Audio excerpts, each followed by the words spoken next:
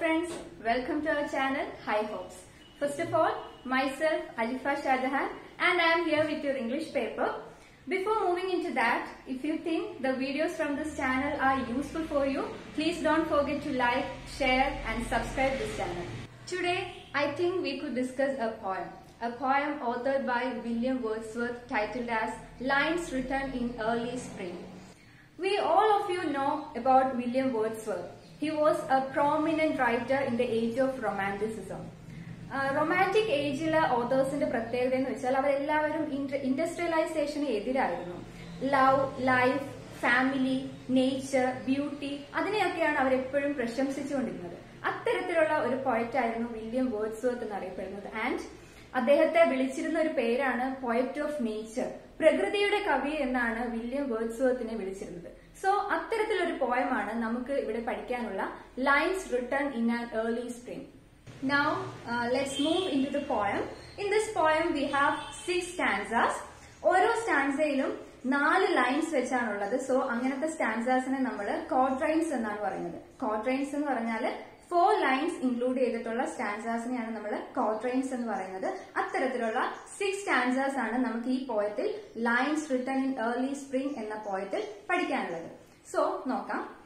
I heard a thousand blended notes while in a grove I sat reclined in that sweet mood when pleasant thoughts bring sad thoughts into the mind I heard a thousand blended notes ആയിരക്കണക്കിന് musical notes ഞാൻ കേൾക്കുകയാണ്.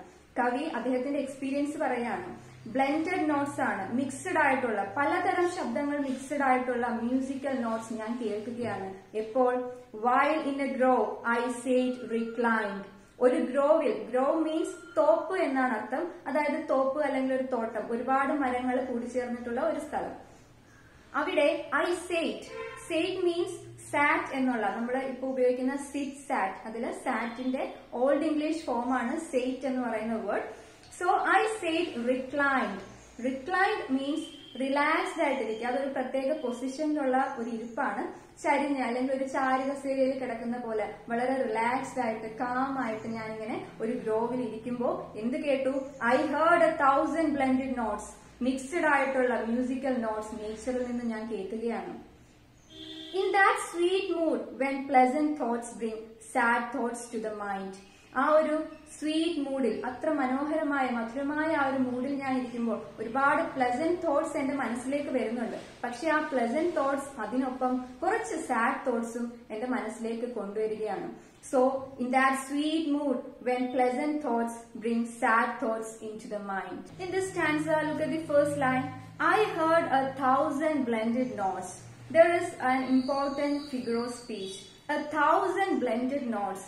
കവി അവിടെ അദ്ദേഹത്തിന്റെ എക്സ്പീരിയൻസിനെ exaggerate ചെയ്ത് പറയുകയാണ്. Thousand blended notes ഒരു കാര്യത്തെ പൊലിപ്പിച്ച് പറയുകയാണ്. അത്തരം സന്ദർഭങ്ങളിൽ നമ്മൾ ഉപയോഗിക്കുന്ന ഫിഗർ ഓഫ് സ്പീച്ച് ആണ് ഹൈപ്പർബലി സോ ഈ ലൈനിൽ ഉപയോഗിച്ചിരിക്കുന്ന ഫിഗർ ഓഫ് സ്പീച്ച് എന്ന് പറയുന്നത് ഹൈപ്പർബലിയാണ് so I heard thousand blended notes ഒരുപാട് ആയിരക്കണക്കിന് ബ്ലെൻഡഡ് നോട്ട്സ് ഞാൻ കേട്ടു എന്നാണ് കവി പറയുന്നത്. So here he use hyperbole so moving into the second stanza to have fair works did nature link the human soul that through me ran and much it grieved my heart to think what man has made of man to have fair works did nature link to have fair works fair works means good deeds നേച്ചറിന്റെ good deeds സൽപ്രവർത്തികൾ. Did nature link പ്രകൃതി link ചെയ്തിരിക്കുന്നു. എന്തിനോട്? The human soul that through me ran മനുഷ്യന്റെ ആത്മാവിനോട് പ്രകൃതി അവളുടെ good deeds സൽപ്രവർത്തികൾ മനുഷ്യന്റെ ആത്മാവുമായി link ചെയ്തിരിക്കുകയാണ്. ആ ആത്മാവ് തന്നെയാണ് എന്റെ ഉള്ളിലൂടെയും പോകുന്നത്. സോ പ്രകൃതിയുടെ ആത്മാവും എന്റെ ആത്മാവും ഒന്ന് തന്നെയാണ്. പ്രകൃതി അവളുടെ ഗുഡ് ഡീഡ്സ് കൊണ്ട് സൽപ്രവർത്തികൾ കൊണ്ട് എന്റെ ആത്മാവിനെയും അവളുടെ ആത്മാവിനെയും ലിങ്ക് ചെയ്തിരിക്കുന്നു. ഇവിടെ ശ്രദ്ധിക്കുക ടു ഹർ ഫെയർ വർക്ക്സ് അവിടെ പ്രകൃതിയെ ഹർ എന്ന് വിളിച്ചിരിക്കുകയാണ്. അതായത് ഒരു പേഴ്സോണിഫിക്കേഷൻ നമുക്ക് അവിടെ കാണാം. മനുഷ്യനോട് ചേർക്കുകയാണ് മനുഷ്യനായി കാണുകയാണ് പ്രകൃതി. ഒരു സ്ത്രീയോട് ചേർക്കുകയാണ് അവിടെ ചെയ്യുന്നത്. So to her fair works അവിടെ ഹർ എന്നുള്ള പ്രയോഗം പേഴ്സോണിഫിക്കേഷന് ഉദാഹരണമാണ്. Next line and much it grieved my heart to think what man has made of man and much it grieved my heart to think അത് എന്റെ മനസ്സിനെ ഒരു ആഴത്തിലുള്ള ഗ്രീഫ് മീൻസ് ഇന്റൻസ് സോറോ ആണ്. ആഴത്തിൽ വിഷമിപ്പിക്കുകയാണ് എന്റെ ഹൃദയത്തെ. എന്ത് what man has made of man മനുഷ്യൻ മനുഷ്യനോട് എന്താണ് ചെയ്യുന്നതെന്ന് ഓർത്തിട്ട് ഞാൻ വളരെ വിഷമിക്കുകയാണ് പ്രകൃതി അവളുടെ ആത്മാവിനെ മനുഷ്യന്റെ ആത്മാവുമായി ബന്ധിപ്പിച്ചിരിക്കുമ്പോഴും പ്രകൃതിയിൽ കാണുന്ന ഒരു ഹാപ്പിനെസ് ആ ഒരു ഹാർമണി ആ ഒരു ഐക്യം എന്തുകൊണ്ടോ മനുഷ്യനിൽ കാണുന്നില്ല അത് എന്റെ ആത്മാവിനെ എന്റെ ഹൃദയത്തെ വളരെയധികം വിഷമിപ്പിക്കുകയാണ് throughout this poem we can see the thoughts of our poet The world of nature gives him pleasant thoughts. At the same time, the world of humans gives him sad thoughts. നമുക്കറിയാം മനുഷ്യൻ പരമാവധി പ്രകൃതിയെ ചൂഷണം ചെയ്തുകൊണ്ടിരിക്കുകയാണ്. അവൻ അവന് തന്നെ ഹാംഫുള്ളായി പ്രവർത്തിക്കുന്ന സമയത്ത് തന്നെ പ്രകൃതിയെ നശിപ്പിക്കുകയാണ്. എങ്ങനെ? ഭൂമിയിലുള്ള മറ്റ് ക്രീച്ചേഴ്സിനെ പറ്റി ചിന്തിക്കാതെ അവന്റെ തന്നെ ഭാവി തലമുറയെ പറ്റി യാതൊരുവിധ പരിഗണനയും ഇല്ലാതെ പ്രകൃതിയെയും മനുഷ്യകുലത്തെയും അവൻ നശിപ്പിച്ചുകൊണ്ടേയിരിക്കുകയാണ്. സോ അത്തരം ചിന്തകൾ അദ്ദേഹത്തിന് ഗ്രീഫ് ഉണ്ടാവുകയാണ്. അതായത് ആഴത്തിലുള്ള സോറോ ഇന്റൻസ് സോറോ അദ്ദേഹത്തിൽ ഉണ്ടാക്കുകയാണ് ചെയ്യുന്നത്. Next answer through primrose tufts in that green bower the periwinkle trail in streets and it is my faith that every flower enjoys the hair it breeds in this stanza നമുക്ക് കാണാൻ പറ്റുന്നത് പ്രകൃതിയിലെ അല്ല അതായത് നേച്ചറിന്റെ ബ്യൂട്ടിയെ പറ്റിയാണ് പറയുന്നത്. നേച്ചറിന്റെ ഹാർമണിയെ പറ്റിയാണ് പറയുന്നത്. അവരുടെ ആ ഒരു ഐക്യത്തെ പറ്റിയാണ് ഈ സ്റ്റാൻസയിൽ പറയുന്നത്. ത്രൂ പ്രിംറോസ് ടവ്സ് പ്രെംറോസ് എന്ന് പറയുന്നത് ഒരുതരം ഫ്ലവറിംഗ് പ്ലാന്റ് ആണ്. റോസ് അല്ല മറ്റൊരു തരത്തിലുള്ള ഒരു ഫ്ലവറിംഗ് പ്ലാന്റ് ആണ്. ടഫ്സ് മീൻസ് ഗ്രൂപ്പ് എന്നാണ് അർത്ഥം. So through primrose tufts in that green bower green bower bower means ഒരു വള്ളിക്കുടിൽ എന്നൊക്കെ പറയാം. നമ്മൾ പാർക്കിലൊക്കെ കാണും. ആർച്ചിന്റെ ഷേപ്പിൽ ഇങ്ങനെ വള്ളികൾ പടർത്തി പൂ പിടിച്ചിരിക്കുന്ന ചെടികളെ നമുക്ക് കാണാൻ പറ്റും. അതിനെയാണ് ഒരു വള്ളിക്കുടിലിനെയാണ് നമ്മൾ ബവർ എന്ന് പറയുന്നത്. So primrose tufts in that green bower primrose പടർന്നു പിടിച്ചിരിക്കുകയാണ് ആ ഒരു ഗ്രീൻ ബവറിൽ ആ വള്ളിക്കുടിൽ primrose ചെടികളുമുണ്ട്. The periwinkle trailed its wreath periwinkle എന്ന് പറഞ്ഞാൽ ആൻഡ് അനദർ ഫ്ലവറിംഗ് പ്ലാന്റ് മറ്റൊരു പൂച്ചെടിയാണ് പെരിവിങ്കിൾ അതെന്ന് പറയുന്നത് ഒരു വള്ളിപ്പടർപ്പുകളായിട്ട് പടർന്നു പിടിക്കുന്ന ചെടിയാണ് പെരിവിങ്കിൾ എന്ന് പറയുന്നത്. So the periwinkle trail trail means follow ചെയ്യുക.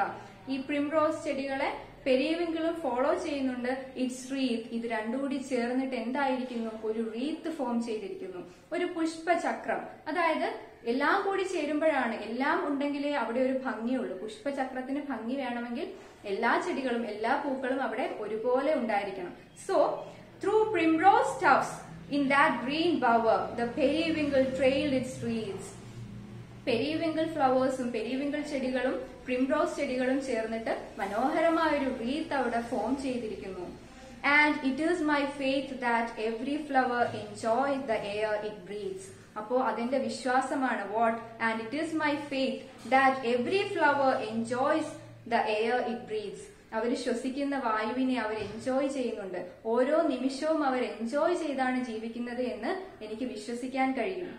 So here we can see the coexistence in nature the beautiful sights around the poet. അദ്ദേഹം അദ്ദേഹത്തിന് ചുറ്റും കാണുന്ന ബ്യൂട്ടിഫുൾ സൈറ്റ്സിനെ നല്ല കാഴ്ചകളെ മനോഹരമായ കാഴ്ചകളെ നമ്മളിലേക്ക് എത്തിക്കുകയാണ്. അത് എന്തിലൂടെയാണ്? പ്രകൃതിയിലെ കോ എക്സിസ്റ്റൻസ് പരസ്പര സഹവർത്തിത്വത്തെ ചൂണ്ടിക്കാണിച്ചുകൊണ്ടാണ് പ്രകൃതിയുടെ മനോഹാരിത കവി കവിതയിലൂടെ നമുക്ക് മുന്നിൽ എത്തിക്കുന്നത് and to the next answer the birds around me hopped and played their thoughts I cannot measure but the least motion which they made, it seemed a thrill of pleasure. മുൻപത്തെ സ്റ്റാൻസയിൽ പ്ലാന്റ്സിനെ പറ്റി ഫ്ലവേഴ്സിനെ പറ്റിയാണ് പറഞ്ഞതെങ്കിൽ ഈ സ്റ്റാൻസയിൽ ബേർഡ്സിനെ പറ്റിയാണ് പറയുന്നത്. The birds around me hopped and played എനിക്ക് ചുറ്റുമുള്ള പക്ഷികൾ they hopped and played hop means jump ചെയ്യുക എന്നാണ് അർത്ഥം. ഹോപ്പ് അതായത് എച്ച് ഒ പി അതിന്റെ വി ടു ഫോം ആണ് ഹോപ്ഡ് ആയിട്ട് ഇവിടെ യൂസ് ചെയ്തിരിക്കുന്നത്. The birds around me hopped and played അവർ എനിക്ക് ചുറ്റും തുള്ളി കളിക്കുകയാണ് തുള്ളി ചാടി കളിക്കുകയാണ്. Their thoughts I cannot measure അവരുടെ തോട്ട്സ് അവരുടെ പ്ലഷർ അവരുടെ സന്തോഷം അവരുടെ happiness but the least motion which they made it seen thrill of pleasure അവരുടെ വളരെ സ്മോൾ ആയിട്ടുള്ള movement least motion very small movement അവരുടെ ഓരോ ചെറിയ ചലനങ്ങൾ പോലും വളരെ വലിയൊരു പ്ലഷർ ആണ് എന്നിൽ ഉണ്ടാക്കുന്നത്. But least motion which they made it seem the thrill of pleasure അത് വല്ലാത്തൊരു ആഹ്ലാദമാണ് പ്രകൃതിയിലും ഉണ്ടാക്കുന്നത് അതുവഴി പോയറ്റിലേക്കും ഉണ്ടാക്കുന്നത്.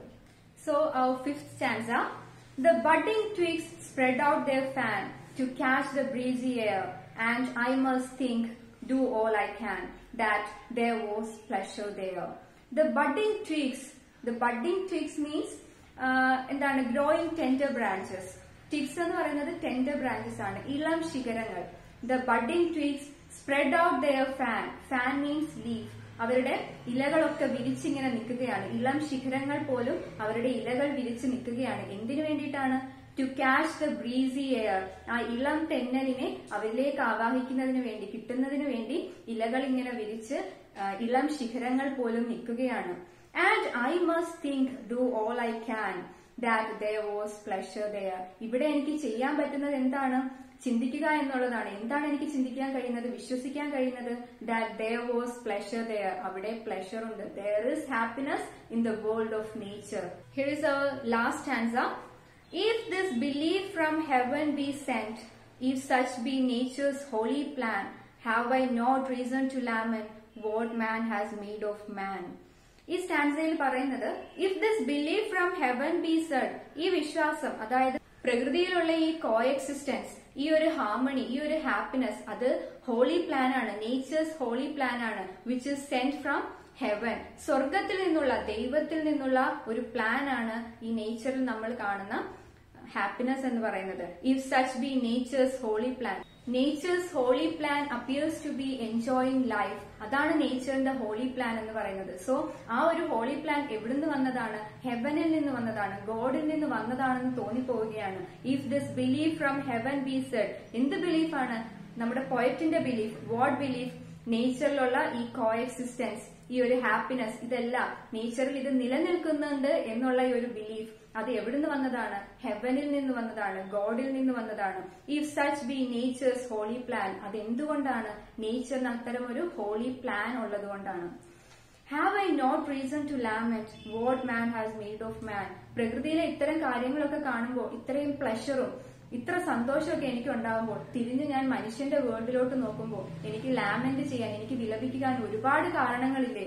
What man has made of man മനുഷ്യൻ മനുഷ്യനോട് എന്താണ് ചെയ്തതെന്ന് ഓർത്തിട്ട് എന്താണ് ചെയ്യുന്നതെന്ന് ഓർത്തിട്ട് എനിക്ക് വിലപിക്കാൻ ധാരാളം കാരണങ്ങളില്ലേ ഇങ്ങനെ പറഞ്ഞുകൊണ്ടാണ് കവി ഈ കവിത നിർത്തുന്നത് in nature's world everything goes well every creatures lives with harmony they are very much happy But in the world of human beings, they are not happy. They are not living with a coexistence. They are not living with this happiness. They are not living with this peace. So ഇത്തരം കാര്യങ്ങളൊക്കെ പോയറ്റിനെ ഒരുപാട് വിഷമത്തിലാക്കുകയാണ്. എന്താണ് നമ്മൾ ഈ പോയത്തിൽ പറഞ്ഞത്?